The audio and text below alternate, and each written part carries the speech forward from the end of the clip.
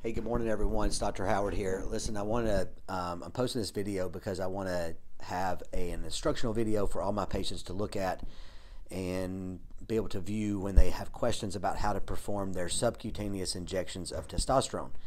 And before I do that, though, I want to spend just a couple of minutes talking about why I changed my dosing from a intramuscular route from uh, to a subcutaneous route.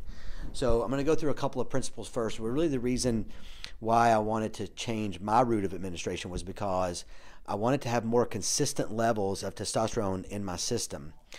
And the concern that I had was that I would put my testosterone into a muscle and that if I worked out or exercised that it would very quickly sort of get pumped into my system and I would have a pretty high level, but then I would quickly come back down. And that can lead to a couple things. One, it can lead to you not feeling so good. The other thing is that can lead to acne, kind of rapid ups and downs of your testosterone level can cause acne. And so I was facing that a little bit with some acne on my back and I wanted to kind of do what I could to fix that. So just so you guys know, as an update, two months now after doing twice a week subcutaneous injections. And listen, there's been times where I kind of forgot and I would do a once a week intramuscular injection, but for the most part, I've been doing twice a week sub-Q injections.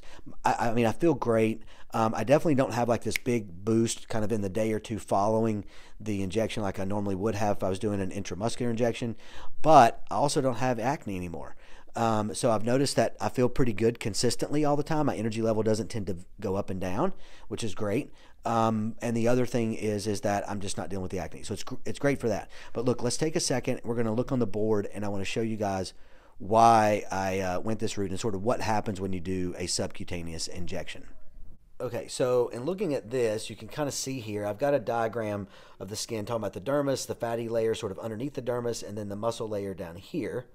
Uh, we did a different sort of diagram, same thing here. But basically, what happens when you do an intramuscular injection, you're sort of going through the dermis down into the muscle, and the medicine sort of gets deposited in here, right?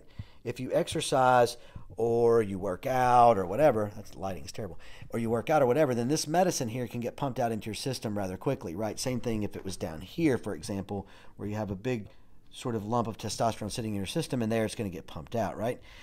And that's okay. There's nothing wrong with that. Some guys prefer that type of injection. They prefer the way it makes them feel. They prefer it because it's easy and they do it once a week.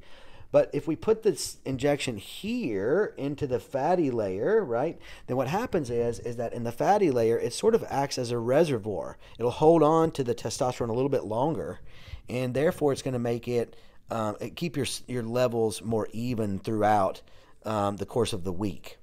All right, so now we're going to jump right into doing a testosterone injection and let you guys sort of see what that looks like. Okay, so here we have testosterone. We have our gauze pad, a 25 gauge needle, an 18 gauge needle, an alcohol wipe, and our syringe. So what we're going to do is I'm going to fix, take this uh, syringe out of here, okay?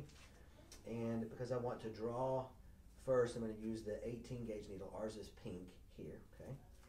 and I'm going to attach that to the syringe. Next, I'm going to take my vial of testosterone and I'm going to cleanse the top of it with an alcohol wipe. I'll use the same alcohol wipe again in just a second. My microphone over here where you guys can hear. Okay, now we're going to take out the testosterone. Since I'm doing a twice weekly injection and I want to get 150 milligrams per week, I want to take half of my dose today and then half again about three or four days later. And so I'm going to take, normally I would take 0.75 cc's of a 200 milligram per ml uh, concentration of testosterone. Normally I would take 0.75 cc's of this once a week. So I want to half that. So I'm going to go to 0.38 cc's of this testosterone. So let's pull that up into our syringe.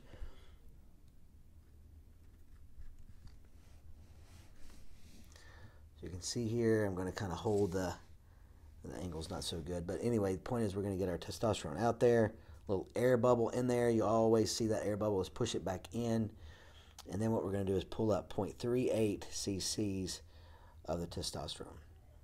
And there we go. Okay. So you guys can see in here on the syringe 0.38. Okay. Now then, this syringe, or I'm sorry, the barrel of the needle is still full of testosterone. So right here, there's a little going to be a little air bubble. I'm going to pull back on this plunger. It's going to get all the testosterone out of the barrel of the needle. So we'll do that till we see the air bubble right there. It is probably hard for you to see. Maybe you can kind of get that there a little bit.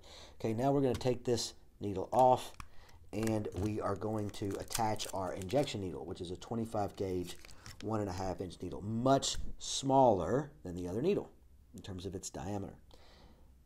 Okay, so now we're going to prepare the site for injection and actually inject this. Okay, so the preferred site is kind of here on the love handle, okay, in this area. So that's what we're going to use uh, for our, our, you know, our location. I typically switch sides once every week. Okay, so alcohol swab. And so the goal here is to actually put the testosterone sort of in this area, but right underneath the skin. And I'm going to pinch the skin up like this, and I want to inject it going sort of long ways, if you will, sort of back underneath the skin.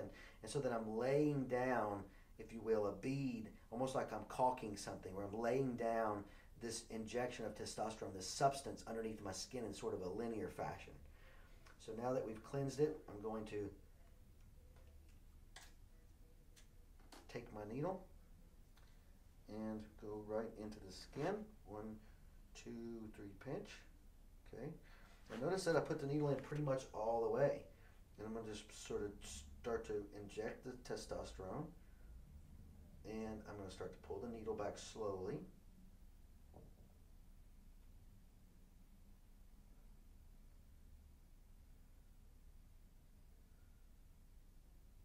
That's it.